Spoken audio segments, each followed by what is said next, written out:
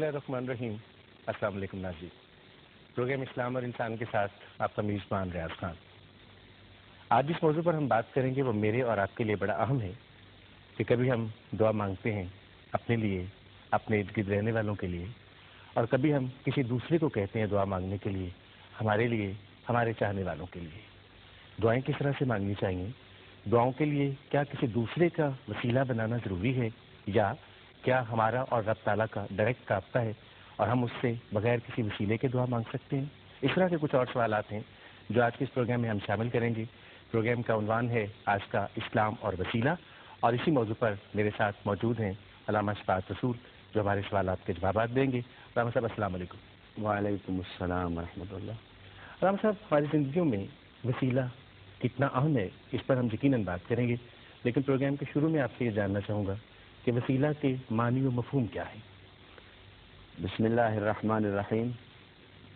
या अय्युहल्लज़ीना आमनुत्तकुल्लाह वब्तगू इलैहिल वसीला वजाहिदू फ़ी सबीलिही लअल्लकुम तुफलिहून। सदकल्लाहुल अज़ीम। वसीला अरबी ज़ुबान का लफ्ज़ है और कुरान पाक में इसे अल्लाह रब्बुल ने जिस सियाको सबाक में इस्तेमाल फरमाया है, उसके एतबार से शरीयत में, दीन में, तरीक़त में, रूहानियत में और रब की रज़ा, तकर्रब, इबादत इतात इत्तबा, इन सब में उसकी बड़ी अहमियत वाज होती है। क्योंकि अल्लाह ताला ने कुरान में फरमाया, या अल्लाजीन आमनुत्तकुल्लाह वब्तगू इलैहिल वसीला ए ईमान वालो, इत्तकुल्लाह अल्लाह का तकवा इख्तियार करो। ईमान वाले, तकवा इख्तियार करने वाले, उनको फिर एक और हुक्म है कि वब्तगू इलैहिल वसीला और तलाश करो उस अल्लाह की तरफ़ वसीले को। वजाहिदूफ़ी सबील ही और उसके रास्ते में जिहाद करो, मुजाहदा करो अनथक मेहनत करो। लाल लकुम तफलहून, ताकि तुम फलाह पा जाओ। और ये फलाह का वही लफ्ज़ है रबालमीन ने कुरान पाक के सूर बकरा के आगाज़ में फरमाया उलाएका अला हदम में रब व उलाएका हमलमफलहून कि यही लोग हिदायत पर हैं और हिदायत पर चलने वाले ही फलाह पाते हैं, कामयाब होते हैं, मंजिल तक पहुँचते हैं। अब सोचने की बात यह है कि ईमान और तकवा के बाद हुक्म हो रहा है वसीले की तलाश का।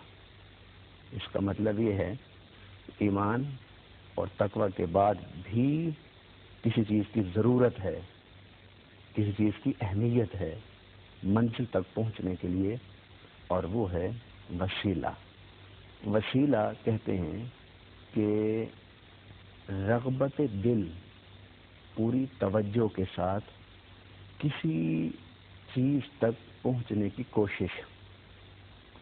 अब ये वसीला का जो लफ्ज़ है ना, ये सीन के साथ भी है और स्वाद के साथ भी है। ठीक, वसीला, जिस तरह कुरान पाक इस आयत में, और वसीला, स्वाद के साथ, इन दोनों का माना किसी जगह पर, किसी मंजिल पर पहुँचने की कोशिश को कहते हैं। मगर जब वसीला सीन के साथ आएगा तो इसका माना यह है कि पूरी तवज्जो के साथ। पूरे दिल के साथ कोशिश करना कि मैं फला चीज़ को पालूं, फला चीज़ को हासिल कर लूँ। इसमें सीन वाले वसीला में रगबत दिल तवज्जो दिल, चाहते दिल शामिल है। और बाकी जो वसीला है वो आम है। इसलिए फरमाया वब तहू वसीला, कि तुम तलाश करो उस अल्लाह तक पहुँचने के लिए ज़रिया को। और ज़रिया, ऐसा ज़रिया कि जिसको इख्तियार करते हुए तुम्हें जबर ना हो, मजबूरी ना हो, इकराह ना हो, बल्कि तुम किसी तक पहुँचने के लिए जो ज़रिया तलाश करो, इख्तियार करो, दिल के साथ इख्तियार करो, रज़ा के साथ इख्तियार करो, खुशी के साथ इख्तियार करो। गोया वसीला उस ज़रिए को कहते हैं कि जिसे इंसान किसी दूसरे तक पहुँचने के लिए इस्तेमाल करता है, लेकिन उस इस्तेमाल में पूरे दिल की तवज्जो और चाहत उसमें शामिल होती है। अनम साहब, बड़ी खूबसूरत आपने इसकी तफसील हमें बताई वसीले के तफसीमानी की। तलाश करो, हकीकत को, तलाश करो, खुदाए बुज़ुर्ग बरतर को, लेकिन किसी वसीले के ज़रिए। ये वसीला जो है कुरान सुन्नत के हवाले से, आप सल्लल्लाहु अलैहि वसल्लम ने इसके बारे में क्या फरमाया? और कुरान करीम और क्या तफसीलात हमें देता है? इस वसीले तक पहुँचने के लिए। अल्लाह रब्बुल आलमीन कादिर है ना? वो अगर चाहे तो हज़रत आदम सलाम को बगैर बाप और माँ के पैदा कर और हज़रत हवा को हज़रत आदम की पसरी से पैदा कर दे। इन अल्लाह अलाकुल्ल कदीर ज़ात है ना? और कौन फ़यकून से कायनात को पैदा भी कर देता है और कौन से तबाह भी कर देगा? यानी उसका एक हुक्म चलना है, कायनात वजूद में आ गई। और एक हुक्म होगा, कायनात फना हो जाएगी। तो इतनी बड़ी कुदरत, ताकत कुत रखने वाला रब, उसकी एक सुन्नत भी है। एक उसकी कुदरत है, एक उसकी सुन्नत है। सुन्नत उसकी ये है कि वो कोई काम भी बगैर ज़रिए के नहीं करता। इसलिए उसकी सिफात में से एक सिफत मुसबिबुल असबाब भी है। कि वो खुद इसबाब इख्तियार करता है अपनी मर्ज़ी से। ज़रूरत से नहीं। उसने क्यों इसबाब इख्तियार किए? वो इसलिए कि हमें उसने सबक दर्श, नसीहत दी है कि तुम तो इसबाब के मोहताज हो। जब मैं मोहताज न होकर इसबाब इख्तियार करता हूँ तो तुम्हें इसबाब को इख्तियार करना है। ये मेरी सुन्नत है। अब अल्लाह रब्बुल आलमीन इंसान की जब पैदा किया तो उसकी तभी ज़रूरतों के लिए कायनात में सब कुछ रख दिया उसके आने से पहले। उसको सुकूनत करनी थी, अल्लाह ने ज़मीन पैदा कर दी। उसको गज़ा की ज़रूरत थी तो ज़मीन में रख ली। उसको हवा की ज़रूरत थी, वो पहले से मौजूद थी। उसको सूरज की तपश की ज़रूरत थी, सूरज पहले से मौजूद था। उसको चाँद की चमक की ज़रूरत थी, चाँद पहले से मौजूद। इंसान की तभी ज़रूरतों को जिस्मानी ज़रूरतों को पूरा करने के लिए कायनात सब कुछ उसने रख दिया। मगर इंसान के अंदर जब उसने पैदा किया ना तो उसने एक लफ्ज़ बोला है फैदा सवई तो हूँ मनफ़ तो फ़ी ही कि जब मैंने इसे बनाया, सवारा तो उसके बाद मैंने अपनी रूह इसके अंदर फूकी, रूह इसमें डाली, इंसान फ़िज़िकल बॉडी और रूह खुदा का मजमू है। तो उसकी तभी जिस्मानी ज़रूरतों के लिए खुराक अल्लाह ने ज़मीन में रख दी। तो उसकी रूहानी ज़रूरतों के लिए उसको एक हिदायत की ज़रूरत थी, एक हिदायत नामे की ज़रूरत थी, एक हादी की ज़रूरत थी।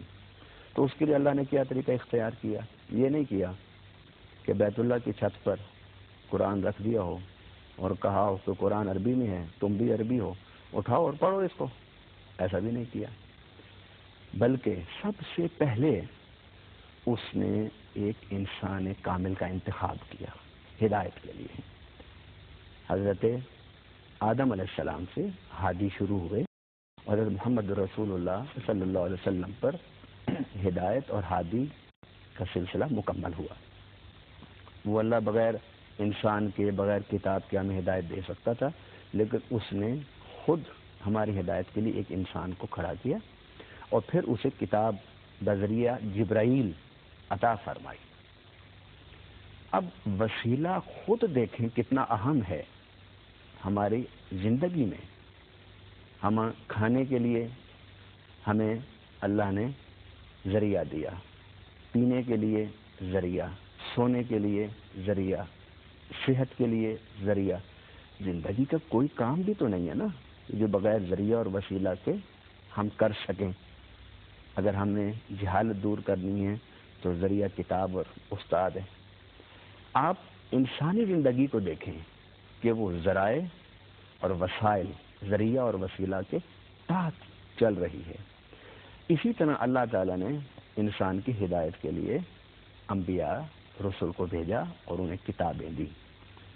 इंसान का तभी जिस्मानी, रूहानी, दीनी, शरी, कोई भी ज़रूरत बगैर वसीले के अल्लाह नहीं पूरी करता। ये निदम सब हमारी पैदाइश से लेकर हमारी वफात तक बहुत से वसाइल हैं, जिनसे हमें गुजरना पड़ता है और उनके साथ हमें अपनी ज़िंदगी को गुजारना पड़ता है।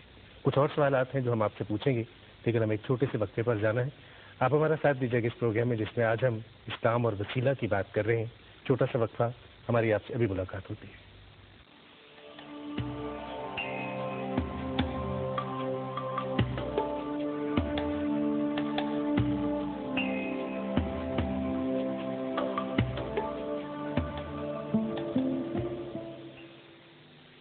आप सबको एक बार फिर खुश आमदीद इस प्रोग्राम में, जिसमें आज हम इस्लाम और वसीला के हवाले से बात कर रहे हैं।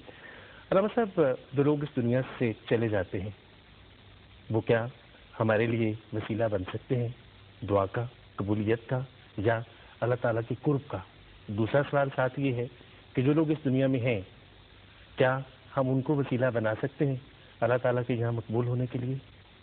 अहादीस मुबारक में, जब आप देखते हैं, मुताला करते हैं तो वहाँ पर एक बड़ी अहम हदीस मुबारक है। वैसे तो सब मेरे आका सल्लल्लाहु अलैहि वसल्लम के फरामी बड़ी अहमियत के हामिल हैं, लेकिन उनके हवाले से उस हदीस की बड़ी अहमियत है कि जिसमें नबी पाक सल्लल्लाहु अलैहि वसल्लम ने फरमाया, काना यतकर्रबु इलैया अबदी बिन नवाफिल हत्ता अहबबतु मेरा बंदा, मेरा तकर्रब हासिल करता है नवाफिल के ज़रिए से।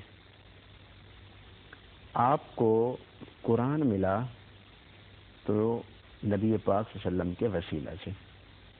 शरीयत मिली तो नबी पाक वसल्लम के वसीला से। शरीयत ही वो ज़रिया है कि जिस पर आप चलकर अल्लाह का कुर्ब हासिल कर सकते हैं।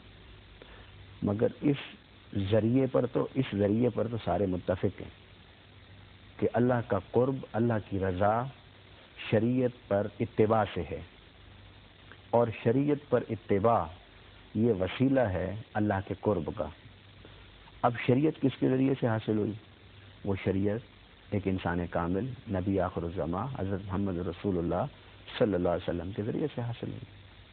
अब नबी पाक वसल्लम ने भी फरमाया कि जब इंसान फ़राइज़ की अदायगी कर लेता है और उसकी आदत बना लेता है फिर उसके बाद जब वो नवाफिल के रास्ते पर चलता है तो इससे वो अल्लाह का मुकर्रब बंदा बनता है।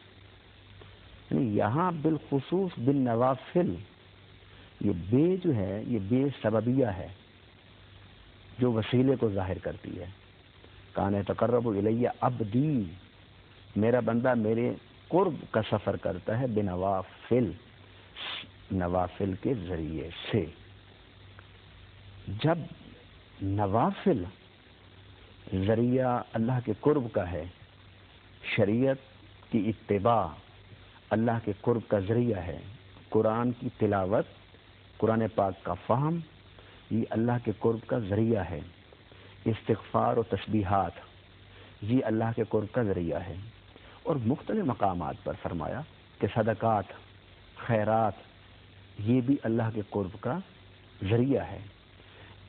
इंसानों की खिदमत, ये भी अल्लाह के कुर्ब का ज़रिया है। जब ये सब चीज़ें जो आमाल हैं, जो अफ़ाल हैं, जो शरीयत है, जब ये अल्लाह के कुर्ब का ज़रिया हैं तो वो शख्सियत जो साहिब शरीयत है, वो शख्सियत जो साहिब वही है, वो शरीयत जो साहिब नबूवत और रिसालत है, वो बदरजा अतम। अल्लाह के कुर्ब का ज़रिया है कि अगर हम उन्हें सामने रखकर उनके बताए हुए अहकाम पर अमल करें, अल्लाह का कुर्ब हासिल होगा। उनकी सीरत पर अमल करें तो अल्लाह का कुर्ब हासिल होगा।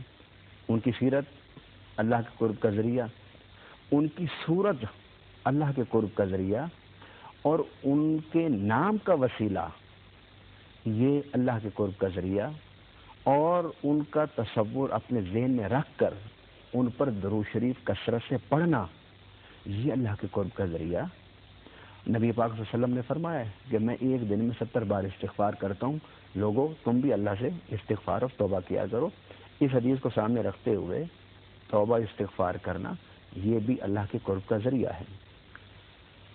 जब नबी पाक वसल्लम से हासिल शुदा रास्ता और तरीका, ये अल्लाह के कुर्ब का ज़रिया है तो खुद ज़ात रसालत माब अल्लाह के कुर्ब का बदरज अतम ज़रिया है।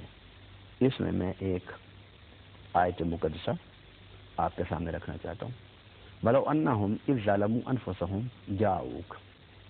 फस्तफ़रुल्लाह मस्तफ़र रसूल लवजल्ला तवाब रहीमा भला कुरान पाक की आय मुकदसा जो मैंने तिलावत की उसका तर्जमा इस तरह है और वो तर्जमा असहाब रसूल सल्लल्लाहु अलैहि वसल्लम की को भी ज़ाहिर करता है और वो किस तरह अगर वो लोग जब अपनी जानों पर जुल्म कर बैठते थे आपकी खिदमत में हाजिर हो जाते और अल्लाह से माफ़ी मांगते और रसूल सल्लल्लाहु अलैहि वसल्लम भी उनके लिए मगफरत तलब करते तो वो इस वसीला और शफात की बिना पर ज़रूर अल्लाह को तोबा कबूल फरमाने वाला और नहायत मेहरबान पाते। यानी अल्लाह ताला ये समझा रहा है, बता रहा है, सिखा रहा है, क्या कि अगर तुमसे गुनाह सरजद हो जाए तो तुम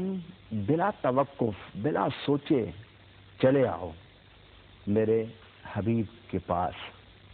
और यहाँ बैठकर तुम अल्लाह से इस्तफार करो, अल्लाह से माफ़ी मांगो, और ये रसूल भी तुम्हारी शफात।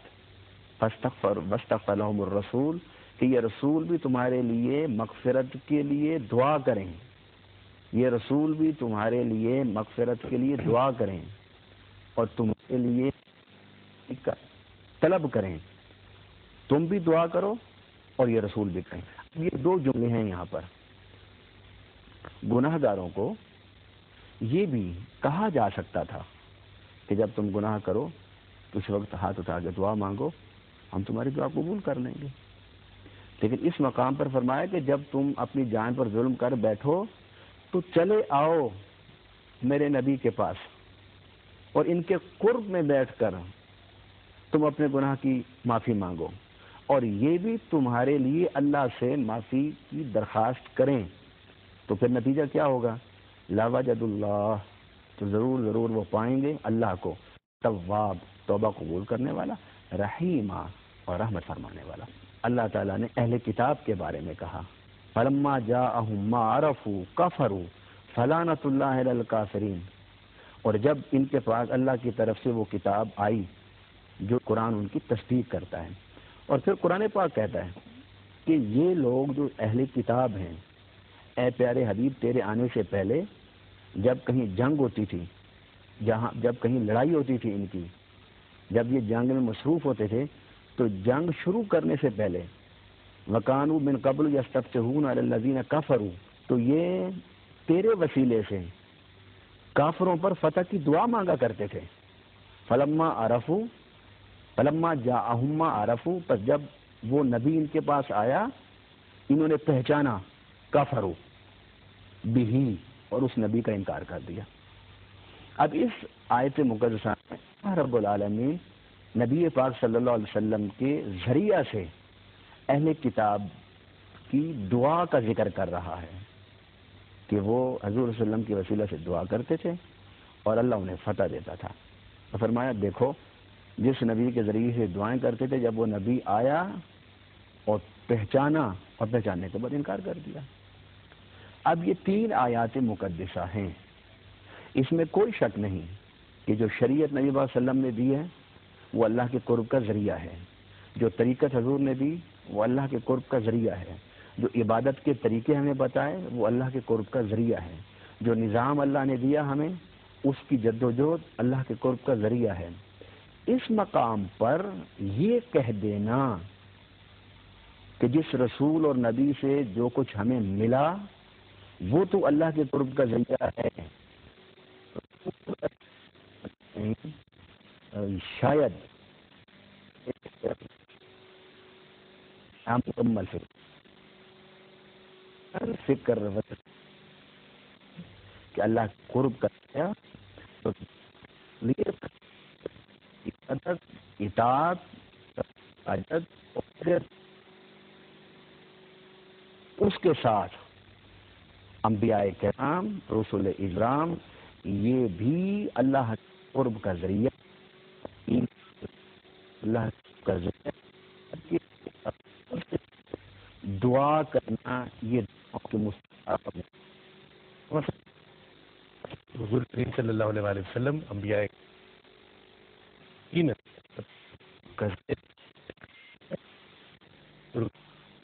जिनके जगह पर दरबार हैं घरों पर हम जाते हैं हम मांगने के लिए उनको वसीला बनाकर न कुछ ज़िंदा लोग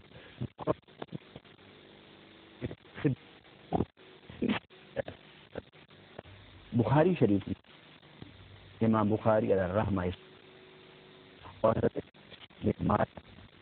रज़ी अल्लाह तहु इसकी अरूक रज़ी अल्लाह में कहा उन्होंने अब्बास से दुआ और दुआ के लफ्ज क्या थे आकर क्यों सल्लल्लाहु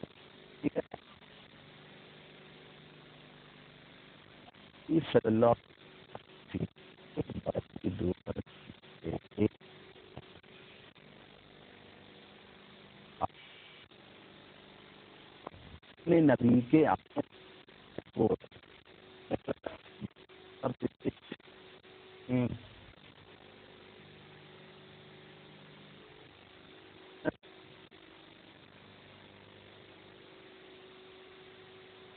बास हवाले से पेश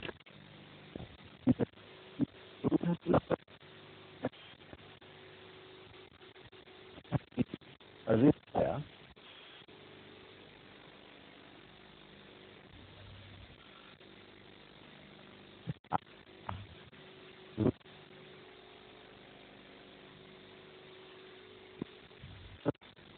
अल्लाह, हम पहले तेरे नबी के वसीले से दुआ करते थे, और अब हम दुआ कर रहे हैं तेरे नबी के चचा के वसीला से। तो तू बारिश बरसा। हज़रत अनस फरमाते हैं, जब ये दुआ हज़रत उम्र फारूक ने की तो सब बारिश हो गई। एक हदीस पाक। दूसरी हदीस, कि हजूर सल्लल्लाहु अलैहि वसल्लम का जब विशाल होने लगा, दुनिया से आपकी रवानगी का जब वक्त आया हजूर वसल्लम ने हज़रत अबू बकर उमर से कहा कि ये मेरी चादर है। ये तुमने वैसे करनी को देनी है और उसे कहना है जाकर कि हजूर सल्लल्लाहु अलैहि ने, ए उवैस, तुझे कहा है कि तू मेरी उम्मत के गुनाहगारों के लिए दुआ कर। हजूर खुद नहीं दुआ फरमा सकते थे। फरमा सकते थे। वो सारी ज़िंदगी दुआएँ तो करते रहे हजूर उम्मत के लिए। उवैस न नबी थे, न सहाबी थे, ताबी थे। तो हजूर दो सहाबियों को भेज रहे हैं कि उसके पास जाओ और उससे दुआ कराओ। क्या मसला, क्या था? हजूर समझाना क्या चाहते थे उम्मत को? पहली बात तो ये कहते थे वैसे करने का मकाम हजूर वाजे फरमाना चाहते थे। तो मेरे उवैस का मकाम देखो कितना बड़ा है। दूसरा उम्मत को ये तालीम देना चाहते थे कि अगर तुम में कोई अल्लाह के वली हो तो उनके पास चल के जाया करो। उनसे दुआ कराया करो। अल्लाह ताला दुआ हर जगह सुनता है। ये हमारा अकीद है। इसमें कोई शक नहीं है। सुनता हर जगह है, लेकिन मानता किसी किसी जगह है। अल्लाह साहब, बहुत शुक्रिया। आपके इस जुमले पे हम छोटा सा एक वक्ता लेते हैं। कि अल्लाह ताला की ज़ात हर जगह पे मौजूद है और वो हमारी शहरत से ज़्यादा करीब है। लेकिन क्या हमें उससे मांगने के लिए भी किसी वसीले की ज़रूरत है? हम इस सवाल का जवाब आपसे लेंगे, लेकिन एक छोटे से वक्फे के बाद आप हमारा साथ दीजिएगा इस प्रोग्राम में। अभी ये प्रोग्राम चल रहा है। छोटा सा वक्फा आपसे हमारी अभी मुलाकात होती है।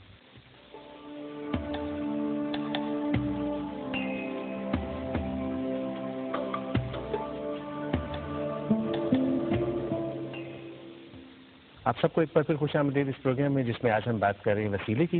अलामा साहब वक्फे से पहले मैंने आपसे सवाल पूछना था यही कि अल्लाह ताला की ज़ात हमारी शहरत से ज़्यादा करीब है। उसके और हमारे दरमियान में कोई पर्दा नहीं होना चाहिए। लेकिन क्या इसके बावजूद हमें किसी वसीले की ज़रूरत है? कुछ लोगों का ये ख्याल है कि हमें डायरेक्ट अल्लाह ताला के साथ अपने रवाबत को ज़्यादा मज़बूत करना चाहिए। अल्लाह ताला के ज़्यादा कुर्ब हमें डायरेक्ट हासिल करना चाहिए। हमें किसी वसीले की ज़रूरत नहीं है। क्या कहते हैं?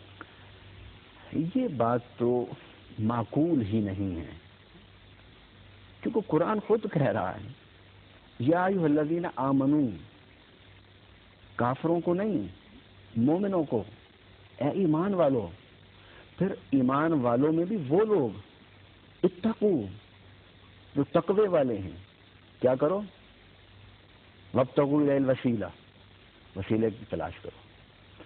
इबादत वसीला है, शरीयत वसीला है, कुरान वसीला है, सुन्नत वसीला है, सीरत वसीला है। वसीले के बगैर तो अल्लाह का कुर्ब हो ही नहीं सकता। रही दुआ की बात, इस पर तो हम गुफ्तगु कर चुके ना। अब हम दुआ की बात कर रहे हैं कि दुआ बगैर वसीला के, दुआ बगैर वसीला के करने की ममानियत नहीं है। बात इस पर हो रही है कि दुआ की कबूलियत के लिए क्या वसीला मौसर है या नहीं? यकीनन हज़रत उम्र फ़ारूक के हवाले से ये हदीस जो बुखारी में, और हज़रत वैसे करने के हवाले से ये हदीस कि दो खलफा को हजूर फरमा रहे हैं कि जाओ, ये हदीस इस बात का वाज सबूत है कि दुआ तो हर जगह आप कर सकते हैं। बात इजाबत की हो रही है, बात कबूलियत की हो रही है। कबूलियत और इजाबत वसीला से होती है। अब आइए, मैं एक और हवाला कुरान से देना चाहता हूँ। हज़रत जकरिया सलाम को जो बेटा हुआ था, याह्या सलाम तकरीबन सौ साल उम्र थी। और वो कैसे हुआ?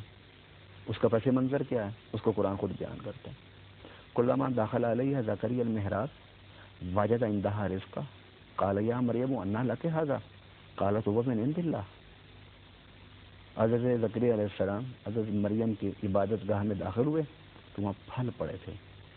कहने कि मरियम ये फल कहाँ से आए? सुने तो अल्लाह ताला कि ये तो बेमौसम फल है। हज़रत जकरी सलाम ने उसी मेहराब में, हज़रत मरियम की इबादत गाह में, जहाँ फलों को देखा, उसी जगह खड़े होकर आपने दुआ के लिए हाथ उठाए। होनाले का दा जकरिया रब्बा, हुनाले का, उसी जगह। जहाँ वो फल देखे थे, और बीबी मरियम ने कहा कि अल्लाह की तरफ़ से हज़रत जकरिया के जहन में आया कि अगर अल्लाह इस जगह पर बेमौसम फल उतार सकता है तो वो मेरी उम्र तो नहीं है औलाद वाली।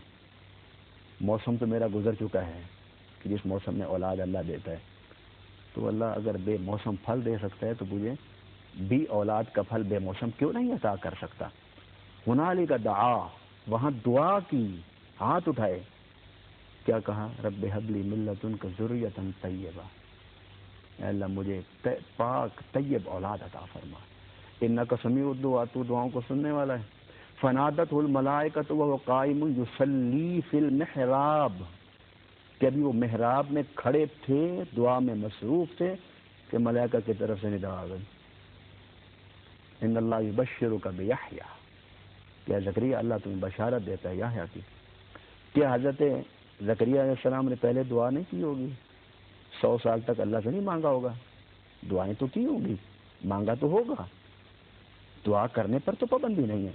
दुआ तो किसी वक्त किसी जगह भी की जा सकती है। जकरिया सलाम ने जो दुआएँ की होंगी, सुनी होंगी यकीनन? लेकिन कबूलियत वहाँ हुई कि जहाँ हज़रत मरियम के इबादत का थी, इबादत की जगह थी, जिसको कुरान ने मेहराब कहा। अब देखिए हदीस मुबारक में है कि बैतुल्ला शरीफ पर जब पहली नज़र पड़े तो जो भी आप दुआ करेंगे, वो दुआ कबूल होगी। अल्लाह तो हर अल्लाह से दुआ तो हर जगह की जा सकती है। बात दुआ करने की नहीं है। किसी जगह भी आप दुआ कर सकते हैं। और बात ये भी नहीं कि अल्लाह सुनता है या नहीं सुनता। अल्लाह हर जगह सुनता है। लेकिन इस हदीस को अगर आप सामने रखें कि अल्लाह ताला उस दुआ को कि जब आपकी नज़र बैतुल्ला पर पड़े, उस वक्त जो भी आप दुआ मांगेंगे, अल्लाह उसे कबूल फरमाएगा। बात तो इजाबत व कबूलियत की है। अब यहाँ पर दुआ की कबूलियत का ज़रिया क्या बना? नज़र काबा, कि आपकी जब काबे पर नज़र पड़ी तो दुआ की कबूलियत का ज़रिया अम्बिया का वसीला भी है। दुआ की कबूलियत का ज़रिया हज़रत बीबी मरियम का गाह में खड़े होकर दुआ करना भी है। दुआ की कबूलियत का ज़रिया बैतुल्ला को देखते हुए दुआ करना भी है और दुआ की कबूलियत का ज़रिया हज़रत उम्र फ़ारूक के सुन्नत के मुताबिक हज़रत अब्बास को वसीला बना के दुआ करना भी है और दुआ की कबूलियत के लिए और दुआ कराने के लिए गैर अम्बिया के पास चल कर जाना अलिया के पास चल कर जाना, ये हजूर अलैहि वसल्लम का हुक्म हज़रत अबू बकर नहीं जा सके। वो इसलिए कि जब खिलाफत आपने संभाली तो काफ़ी मसाइल सामने आए, जिनमें आप मसरूफ़ रहे रियासत के मामला को ठीक करने में। तो हज़रत अबू बकर ने दुनिया से जाते हुए हज़रत उम्र फ़ारूक से कहा कि तुमने इस काम को करना। फिर हज़रत उम्र फ़ारूक ने ये काम किया और हज़रत वैसे करने के पास गए और उनके पास जाके बैठे और उन्हें यही पैगाम दिया कि अल्लाह के रसूल ने कहा कि तुम मेरी उम्मत के लिए दुआ करो। खैर अम्बिया और रसूल के पास जाना और वो सहाबी भी नहीं, गैर सहाबी, बल्कि अल्लाह के वली है, कामिल थे, उनके पास जाना और जाकर दुआ कराना। ये उम्र फारूक की सुन्नत है, हुक्म नबी पाक सल्लल्लाहु अलैहि वसल्लम का। अलमा साहब, हमारे इस माशरे में बहुत सारे लोग हैं जो पीरों के पास जाते हैं और उनको वसीला समझते हैं, जिसको कहते हैं कि पीर को पकड़ना, पीर पकड़ना जिसको हम कहते हैं। कुरान सुन्नत के हवाले से आप इस हवाले से क्या फरमाते हैं? अल्लाह ताला के कुर्ब का सबसे बड़ा ज़रिया इतबाई शरीयत है। और इतबाई शरीयत से पहले फ़ाहम शरीयत की ज़रूरत है।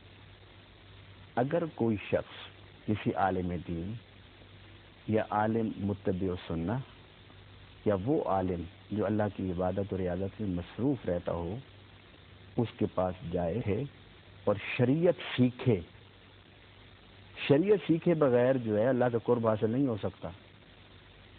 और हज़रत शेख अब्दुल कादिर जिलानी, महबूब सुबहानी ने भी फरमाया कि मैं भी दर्श देते हुए अल्लाह का, किताब का, शरीयत का दर्श के ज़रिए, तालीम दीन के ज़रिए, इसी खिदमत में मशगूल रहने की वजह से अल्लाह ताला ने मुझे कुतुब बना दिया। आप समय दरस्तुल्मा हत्ता सिर तो कुतबन, कि मैं अगर कुतुब बना हूँ, बलियों में एक बड़ा मकाम मुझे मिला है तो वो इल्म के दर्स की वजह से है।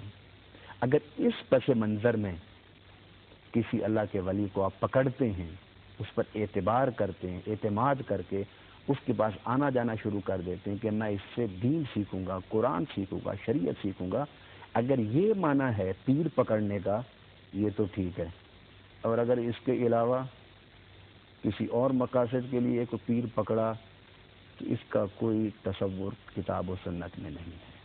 दूसरी तरफ़ एक बड़ा खूबसूरत सा तस्वुर है माँ का, और कहा यह जाता है कि माँ और रब के दरमियान में कोई पर्दा नहीं होता। माँ जो कुछ अपनी औलाद के हवाले से कहती है, अल्लाह ताला से मांगती है, वो कबूल होता है। आप क्या कहते हैं? यकीनन, हदीस पाक में भी है, नबी पाक सल्लल्लाहु अलैहि वसल्लम ने इरशाद फरमाया कि माँ बाप को अपनी औलाद के लिए गुस्से में भी सोच कर बात करनी चाहिए, इसलिए कि माँ बाप की ज़ुबान से निकली हुई हर दुआ अल्लाह औलाद के हक में कबूल कर लेता है।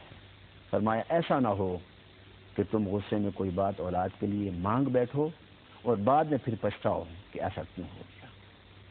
कलम से बड़ी खूबसूरत की बात आपकी कि हमें अपने वालदेन जो हैं उनके ज़रिए उनको वसीला बनाकर अगर हम दुआ उनसे मंगवाएँ या वो हमारे हक में हमारी कुछ बख्ती हो कि वो दुआ करें तो यकीन अल्लाह ताला के साथ जो है उस वसीले को कबूल करती है और उस वसीले के ज़रिए मांगी हुई दुआ जो है वो हमारे हक में कबूल होती है। इस जगह पर मैं एक चीज़ का इजाफा करना चाहता हूँ। हजूर अलैहि ने कभी किसी के लिए बददुआ नहीं फरमाई। लेकिन माह रमज़ान में आप जब मस्जिद में आए और आपने मंबर पर कदम रखा तो आपने फरमाया, आमीन। दूसरे सीधे पर कदम रखा, फरमाया, आमीन। तीसरे पर रखा, फरमाया, आमीन।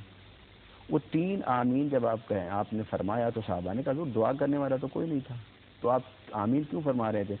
फरमाया कि, जब्राइल मुझसे पहले मेरे मिंबर के पास खड़े थे उन्होंने तीन दुआएँ की और मैंने तीन बार आमीन कह दिया। उन तीन दुआओं में एक दुआ ये भी थी अय अल्लाह, जो अपने माँ बाप का बुढ़ापा पाए और उनकी खिदमत करके जन्नत ना हासिल करे, वो हिलाक हो।